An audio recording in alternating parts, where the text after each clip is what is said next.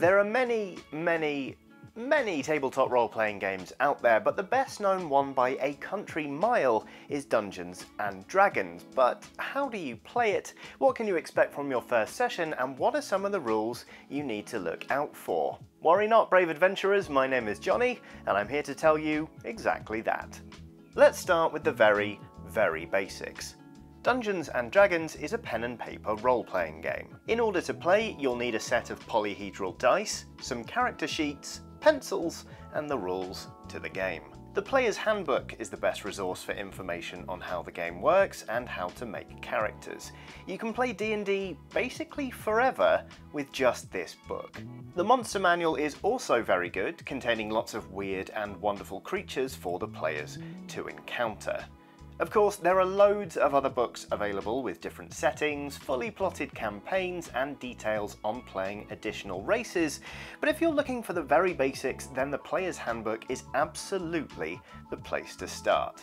In a game of Dungeons and Dragons, one player, commonly known as the Dungeon Master, acts as both referee and story guide, helping to propel the adventure along and provide challenges for the players to overcome along the way. Each player will have their own character with a backstory, a set of different abilities, and an overall outlook on life. When the players want to act, they say what it is they're trying to do. If it's something very simple, like crossing a room to start a conversation, the DM will likely just let that happen, so the game will continue uninterrupted. If a player tries to do something that requires skill or special effort, however, the DM will ask them for a roll. The player will roll a 20-sided die, commonly referred to as a d20, and the outcome will determine whether the attempt was successful or not. For example, if a player tries to kick down a door and rolls well enough, they'll succeed. If not, the door will remain intact. Either way, the outcome is narrated by the DM and play continues. Different characters are good at different things depending on the choices the players made during character creation. We'll get on to exactly how that works later, but for now, let's look at a character sheet.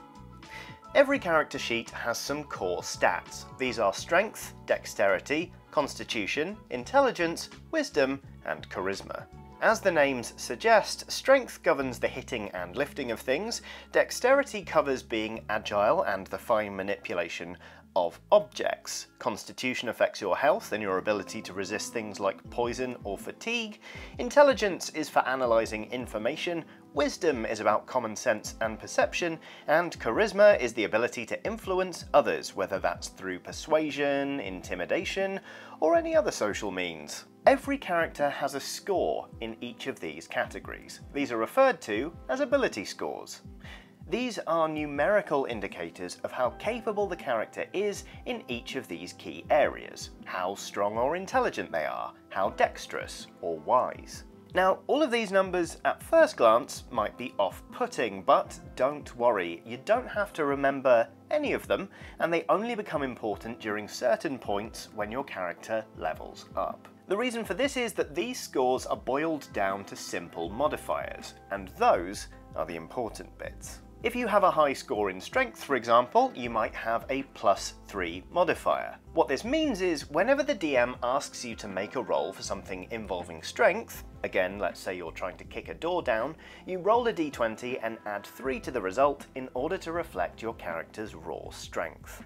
In addition to your six core abilities, D&D also features a number of skills, ranging from things like acrobatics or athletics, to mental skills like investigation or perception, to social skills like persuasion or intimidation. Each of these skills is tied to an attribute. Acrobatics, for example, is linked to dexterity, while athletics is linked to strength.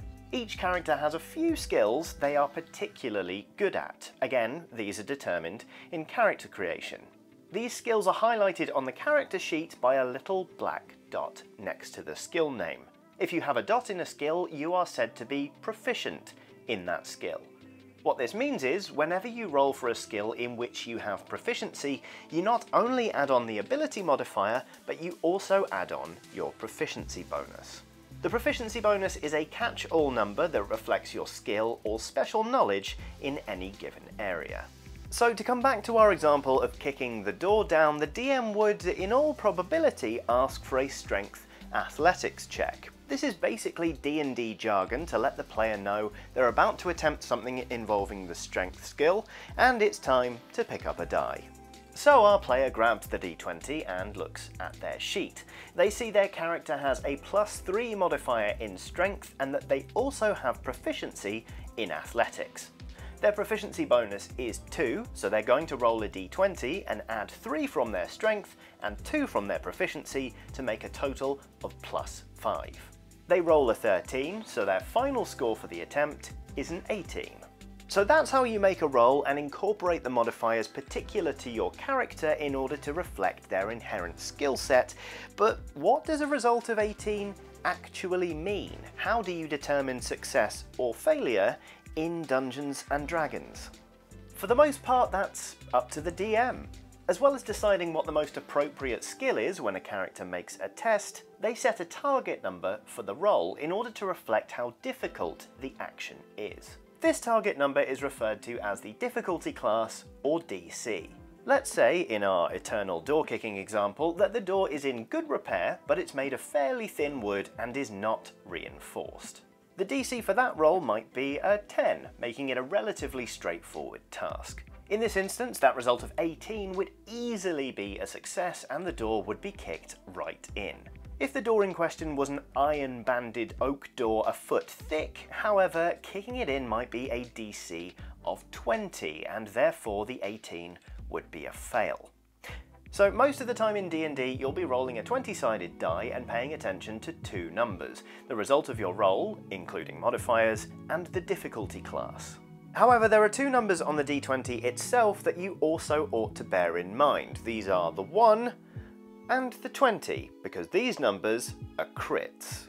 Rolling a 20 is a critical success. It means not only do you achieve what it is you set out to do, but you do it extremely well. If you're trying to persuade someone to sit down and talk to you, for example, a crit might instantly make them your friend. If you're swinging a sword at somebody, you would hit them especially hard, and we'll cover exactly how that works when we get to combat. On the other hand, a 1 is a critical fail. If you're trying to convince someone to sit down and talk to you, you say the worst possible thing in that moment.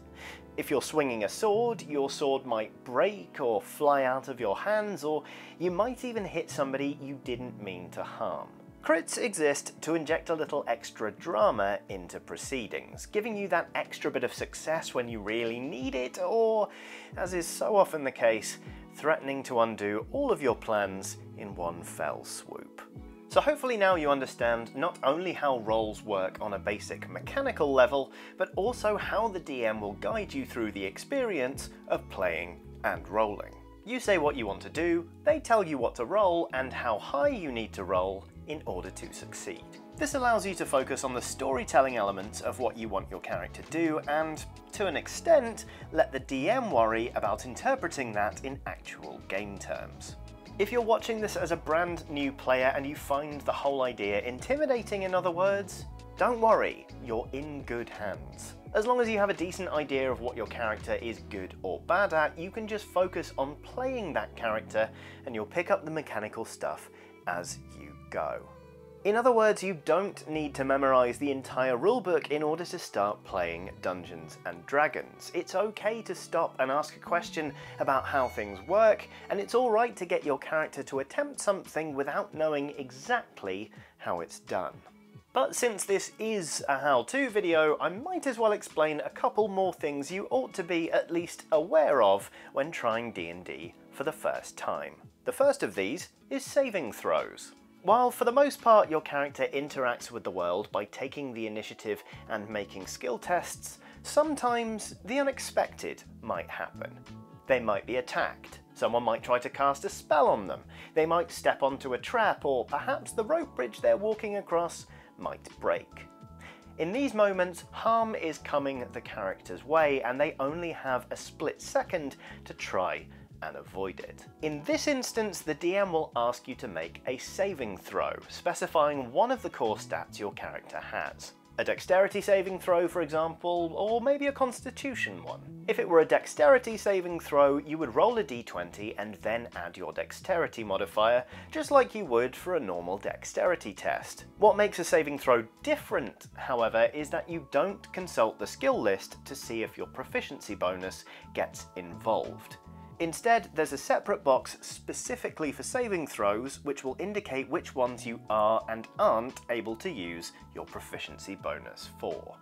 So you make the roll, add the appropriate ability modifier and your proficiency bonus if it's applicable, and then you see if you rolled high enough to avoid or lessen the damage. Fairly straightforward, but still different enough to normal skill checks to be worth talking about. So that's a basic summary of how the game is likely to play out while you're going around doing your standard bits of adventuring. Whether that's investigating an area for clues, trying to talk to somebody to gain information, or venturing into one of those dungeons everyone seems so keen on. But of course, sooner or later the party is going to come up against some adversaries, and it's here the game takes on a very different structure. Let's talk about combat.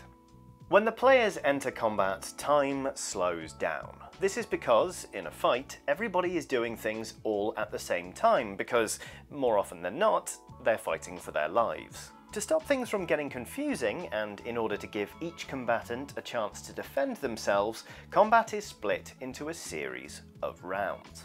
Before combat begins, the order in which everybody will take their turns is determined.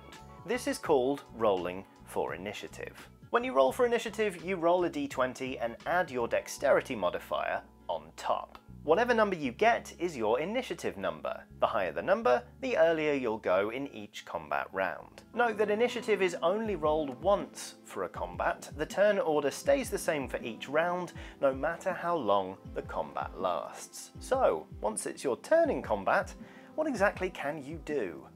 On a combat turn, each character can move up to their speed, which is written in feet on their character sheet, and they can perform an action. For instance, you might attack, you might use an action to cast a spell, but you can also use it for other things like special abilities, attempts to talk the enemy out of fighting, swinging across a chasm on a rope, healing, you name it, basically. In essence, the players narrate what it is they're trying to do, just the same as they do in the rest of the game, and the DM translates that into a roll for the player to attempt. The main difference here is that characters can only do so many things at a time in order to keep the fight balanced and give all combatants a chance. During a combat turn, players are also able to perform minor actions at the discretion of the DM. They might want to kick an object across the floor to somebody else, for example, or yell something to their fellow adventurers. Because these are relatively small actions, the DM is likely to allow one or two of these in the course of any given combat turn. But as I said, most players use their turn to attack when in combat, so how does that work? Well, it's largely the same as performing a normal test. If a player is swinging a great axe, they'll make an attack using their strength characteristic.